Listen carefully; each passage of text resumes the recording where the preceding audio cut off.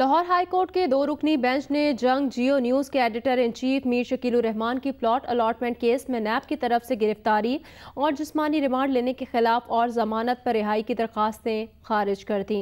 अदालत ने अपने तेरह सफ़ात पर मुश्तमिल फैसले में करार दिया कि मीर शकील के खिलाफ मामला जेर तफ्तीश और इब्तदाई मरहले पर है ताहम मीर शकील रहमान मुनासिब मरहले पर जमानत पर रिहाई की दाद रसी के लिए रुजू कर सकते हैं।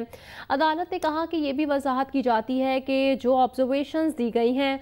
वो दस्तियाब मवाद की बुनियाद पर हैं और हंगामी नौयत की हैं। चुनाचा ट्रायल कोर्ट ट्रायल के दौरान किसी तौर से भी उनसे मुतासर नहीं होगी।